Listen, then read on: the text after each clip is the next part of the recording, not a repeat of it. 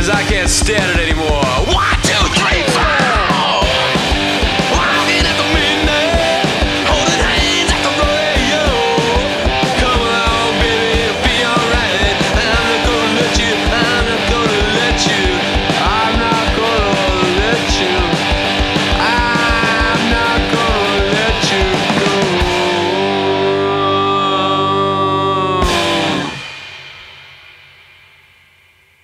And that has a very important cowbell part that you can't hear. No, but it really makes the song.